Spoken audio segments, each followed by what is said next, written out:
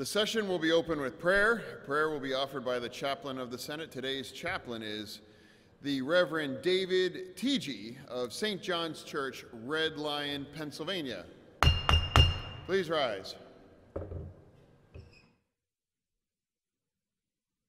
I would invite you to take a breath with me. Let us pray together. God of all creation and our God, we pause to acknowledge the evidence of your powerful and creative hand manifest in this glorious autumn day. Cause gratitude and appreciation to well up within us, not only through words of praise, but also through faithful stewardship and an informed ecology of Earth. Remind us that we hold this planet in trust for our children and grandchildren. God of all people and our God, we pause to acknowledge the evidence of your presence in all humanity. Allow us to lay aside the pride and prejudice that divides and separates peoples, classes, races, and religions.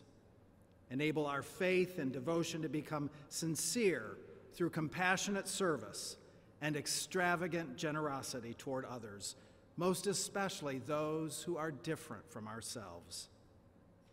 God of many names and our God, we pause to acknowledge the possibilities of your Spirit at work in our midst. Cause us to hear your still speaking voice in the impassioned cries of those seeking justice for their communities and for solutions to their concerns. Allow us to imagine your light and truth shining from within each other as we seek to lead or govern with equity. God of this day and of this place, we now ask for your goodness to invade our hearts, your compassion to inspire all our thoughts, your creativity to ignite our imaginations, and your love to infuse all our decisions with kindness, so that we may all experience peace and prosperity in this commonwealth. Mr. President, I rise to introduce today's guest chaplain, Reverend David Tietje of St. John's United Church of Christ, located in Red Lion. Having been ordained in 1985, Reverend Tietje has led the congregation at St. John's for the last 10 years. The church's mission is a loving, supportive, Christ centered family glorifying God, proclaiming the gospel, nurturing growth in faith, and serving all of God's children throughout the world.